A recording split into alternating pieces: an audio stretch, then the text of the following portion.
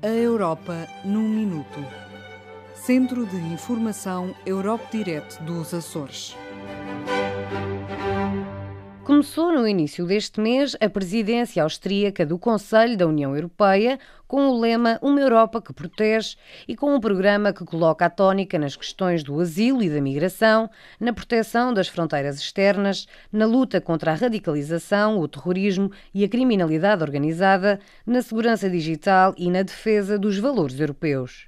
Desde a sua adesão à União Europeia em 1995, esta é a terceira vez que a Áustria exerce a presidência do Conselho da UE, depois de o ter feito em 1998 e 2006. A presidência do Conselho é exercida em regime rotativo pelos Estados-membros por períodos de seis meses. Durante cada semestre, a presidência dirige as reuniões a todos os níveis no Conselho, contribuindo assim para garantir a continuidade dos trabalhos da União Europeia. Os Estados-membros que exercem a presidência trabalham em estreita cooperação em grupos de três, chamados trios. O trio atual é constituído pelas presidências da Estónia, da Bulgária e da Áustria.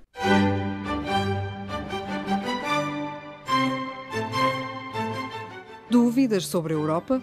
Ligue 008 0067 891011.